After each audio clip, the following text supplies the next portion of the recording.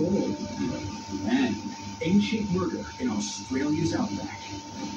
Forensic analysis reveals evidence of an unexpected murder weapon. You think of? This has a child's toy that can actually used as an offensive weapon.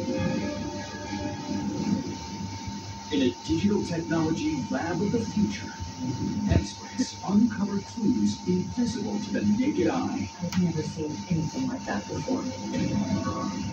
and solve